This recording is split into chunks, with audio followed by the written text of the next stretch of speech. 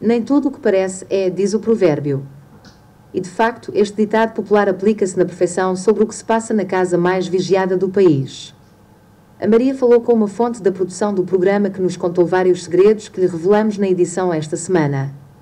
Sabia, por exemplo, que os novos concorrentes, Inês e o Gil, passaram muitas informações do exterior para dentro da casa. E que Kika queria desistir duas semanas antes, mas a produção perguntou-lhe o que é que ele queria para ficar no jogo. Que Margarida e Panelo já se tinham tocado debaixo dos cobertores na esfera. Ou que Daniela ia ao confessionário todas as noites, sem que os colegas soubessem o motivo.